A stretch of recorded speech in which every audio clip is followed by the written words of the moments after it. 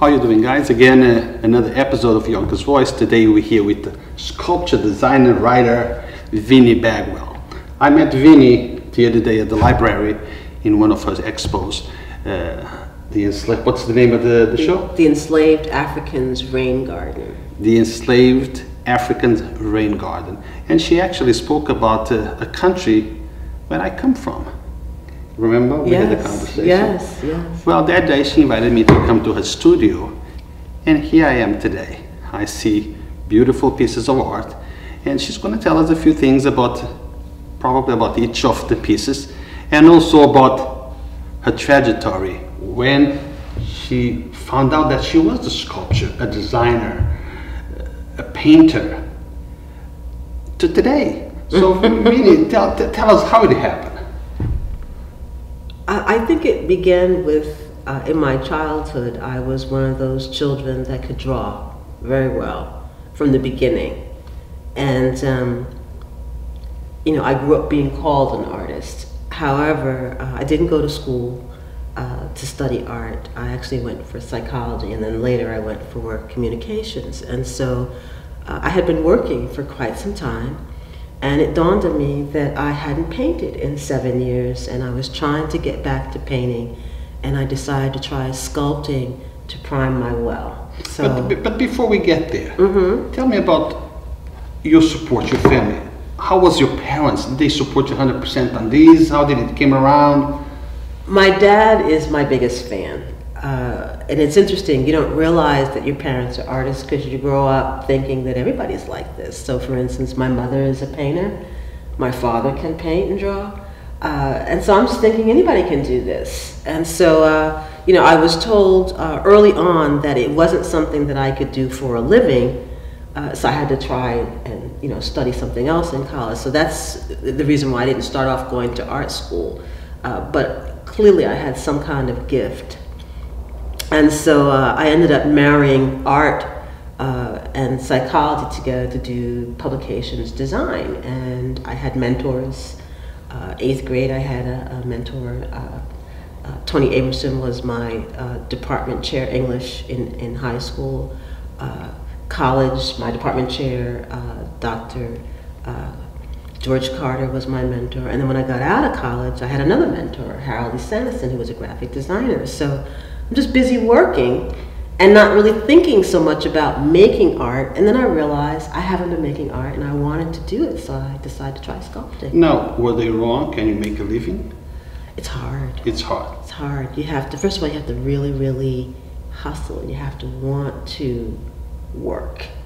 And working for yourself, you're willing to work harder for yourself than for somebody else. But, you know, the art arena is extremely competitive and, um, and it requires quite a bit of skill. You have to be able to write, you have to be able to articulate your thoughts, uh, you have to have good ideas.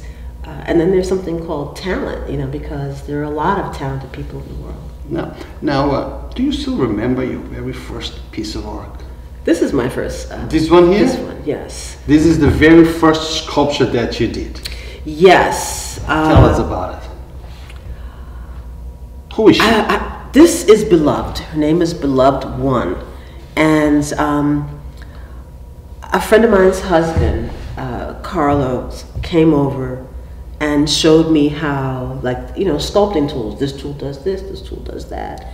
And so he left me, you know, um, we were together for like two hours, and he left me with a block of clay. And four days later, I had this sculpture. And, uh, you know, I wanted to save it. I created originally in plastilina.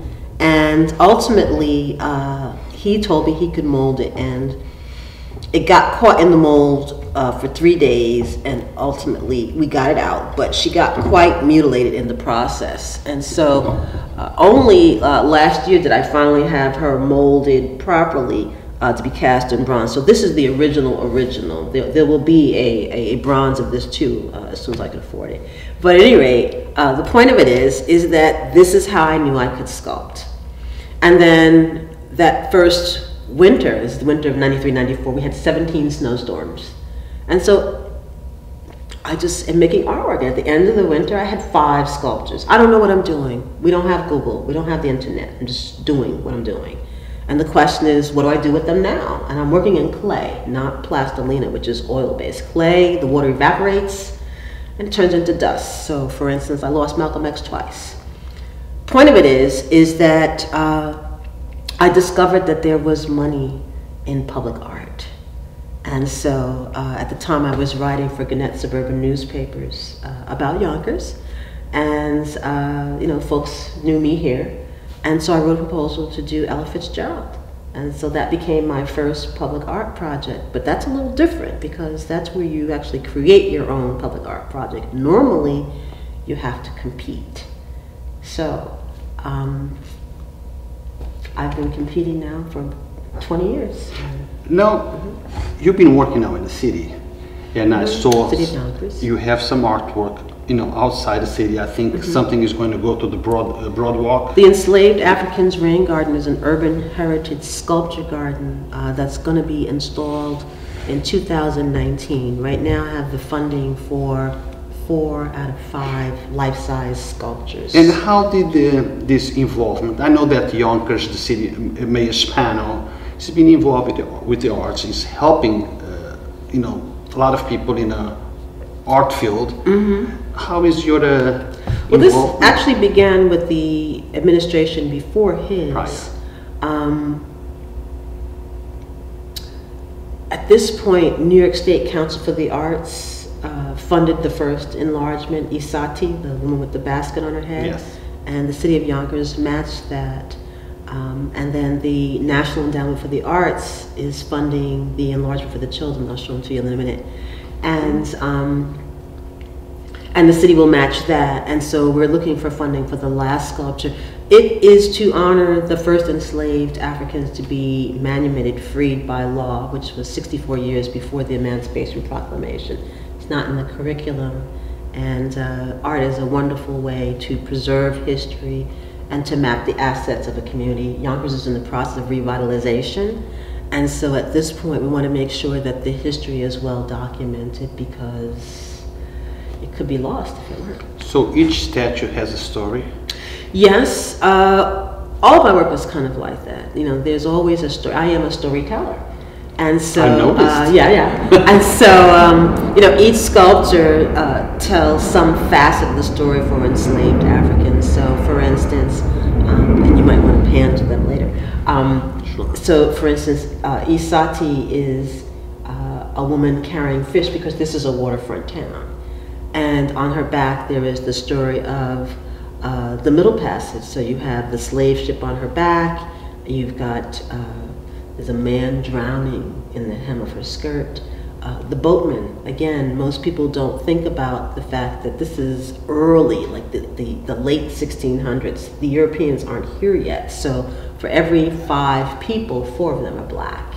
And so you have the boatman, you know, who helps to drive the boat from New York to South Africa to Madagascar and back safely. And he too has a story. And so each of them tells you a story. Most people don't know that most enslaved African were youth. And so I have two children, there's a boy and a girl. And again, uh, you look at it from the standpoint of these are people, individuals with families and memories and dreams and things like that. And all of that was um, stolen from them. And so uh, the idea is to humanize them. So I name them. Uh, and again, trying to make people remember that these were people, not just some other. And so, uh, you know, I've been working with Ty Grael, who uh, is a spoken word artist, and Ty has given them a voice. So now you have faces. I had got the pleasure to hear him. Oh, he's fabulous. He's fabulous. And so um, it, it helps people to to to believe that these were people that they know, so that you can feel a connection with them and have compassion for their story. Now I see here in your studio small statues, big statues.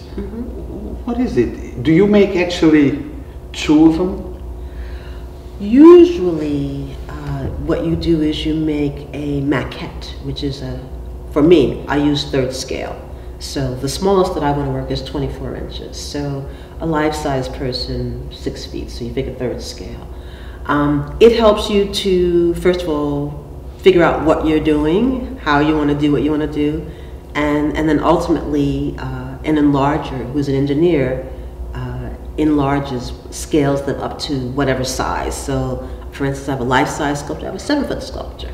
And so I call it a body snatcher. When he brings it here, it's not finished. It's just a body that looks kind of like what I made, but not finished. And it's my job to refine it and make it look like it's ultimately going to look. So before we go to the tour, mm -hmm. let me mm-hmm. ask you this, Vinnie. Do you give any kind of workshops? Let, let, let's say if there is people in Yonkers that are interested, but they don't know the techniques, they, you know, they would like to know a little bit more about what's involved. Do you have any kind of a workshop? Um, generally, I don't teach. I do do workshops. Uh, usually, for instance, with the Rain Garden Project, I've had open houses. Uh, I have the students from uh, the Yonkers Public Schools and Sarah Lawrence College come in. Um, I've had Sister to Sister bring their summer program uh, youth in. And again, it's just to expose them to the environment. This is this is where I work. This is where I live and work in the same place. Your studio. Uh, I'm a, a self-employed artist. Uh, and so it gives people an opportunity to come into uh, a space and see what it's like uh, in other words, I get up in the morning, I come downstairs, I go right to work. I'm here. And so, uh, you know, it gives an opportunity to learn how public art is made. Uh, and also, too, there are stories between each piece. There's a story, you know, how it came to be, so to speak. So it kind of gives people um, a bit more understanding about sculpture as a medium, but also about uh, uh, public art as a career. I guess coming to visit you is like a, a travel into travel into the past when the artist worked at their own yes. studio. At their own yes, yes, yes. I'm, I'm, this I'm, is it. I'm, yes, I am like, here, I work yeah, like Rodin and Picasso and all them. Uh, yes, which I, I think is, there are days when even I am fascinated by myself that you know I so you am amaze yourself. I do, you know, because um, like this is not what I thought. It's it's better. It's better than what Good. I thought. So let's go around now and uh, show me about, you know, which sculpture you're going to pick on whatever one you want to. Okay. You can show me, tell me about it, and tell me a little story about it. Okay. Okay. So Yes. let's do it. Yes. So the Department of General Services put out a call for a public artwork to celebrate the life of Marvin Gaye because Marvin Gaye is from Washington, D.C. And this is the maquette that I created for the competition. I won. So this is third scale. I gave this to my enlarger, and he in turn makes an enlargement. When the enlargement arrives, it's it's rough. It's not this refined. So it's my job to refine it and make it look like Marvin Gaye. So this is uh, taken from the What's Going On album uh, the irony is that, you know, in those days, we didn't have the same kind of digital photography and whatnot, but if you put the What's Going On uh, album cover on your screen, you will find that Marvin Gaye is wearing a alligator uh, embossed vinyl trench coat. So I like to use uh, relief sculpture as a way of telling the story. So this is Marvin Gaye's story. So there he is with his children, uh, oh, that's his son, uh, his uh, duet partners, for instance, that's Tammi Terrell. Uh, he was a Grammy Award winning artist.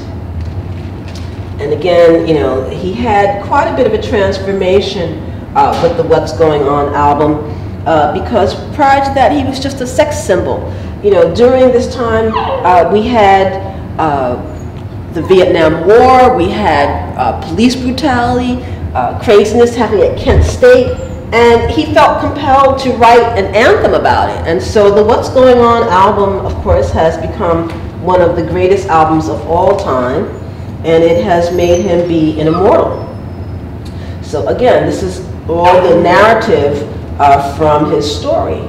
And again, if you know anything about Marvin Gaye at that time, you know, again, the Vietnam War, uh, the assassination of Martin Luther King, Malcolm X.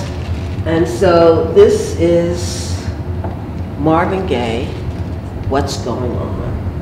I'm almost complete. I'll be working on it for another week or so, and then it will go for casting, mold making, and uh, it'll be uh, unveiled on the 1st of April in Washington, D.C. This, behind Marvin, uh, is the piano. Uh, in 2012, uh, Ruben Santiago Hudson came to me and asked me uh, to create a piano for a play that he was directing uh, uh, that was originally written by August Wilson.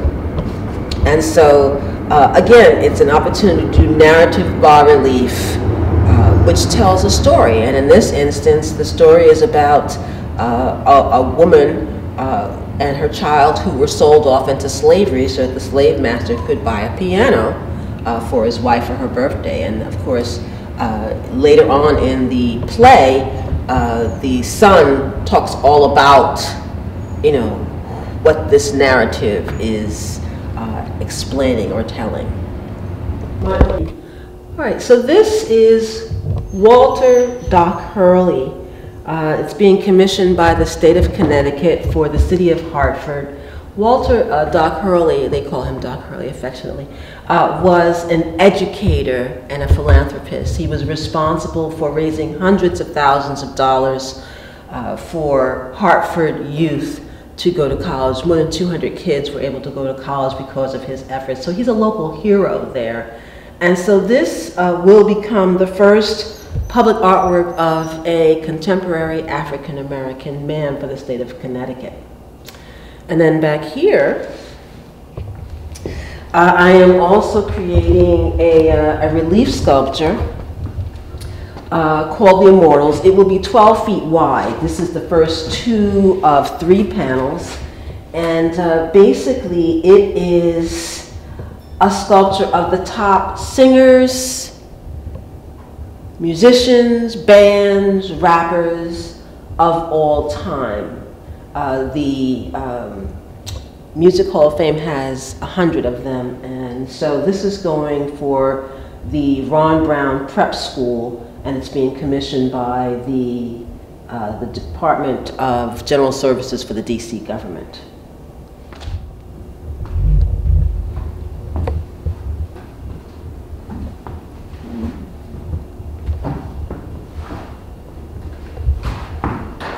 So this is Liberty. Uh, the Alabama State Historical Society and the Alabama Arts Council uh, asked me to create an artwork for the inaugural exhibition at the new uh, Freedom Rides Museum in 2011 for the 50th anniversary of the Freedom Riders. And so on her back is the narrative of the story. So you've got, this is the map of the routes that they took. And then down here, you've got uh, folks like Stokely Carmichael and others who were uh, arrested and mugshots. You've got Rosa Parks on the bus uh, the names of the organizations, uh, you know, that uh, helped in this effort to create equality uh, for public places. And so it's, quite the honor to be part of that um, because I realized that these are the people who make my daily life possible, that, that I don't have to be concerned about whether or not um, I have the liberty of drinking out of a regular water fountain versus a for colored only water fountain. So I felt very, very responsible for making this piece, and it was a wonderful opportunity to be able, again, to represent uh, people of color, you know, in a public place. Okay, so here on the back wall, you have my, I call them my Bible people. You've got the woman at the well, Jacob, uh, this is Moses throwing the Ten Commandments called Exodus 32:19. These are the maquettes for the rain garden. Uh, this is sunlight in my father's eyes. Um, I use it oftentimes on my Facebook page uh, to say Merry Christmas because uh, the baby Jesus and all of that. Uh, but let me show you something really important that you guys might be interested in knowing about. So this is Shola and Olumide. Um, they are the children for the enslaved Africans rain garden, and I'll be enlarging them next. So I hope you guys will follow me on Facebook and Twitter, social media, and hope to see you again soon when they're big. Thank you so much for coming.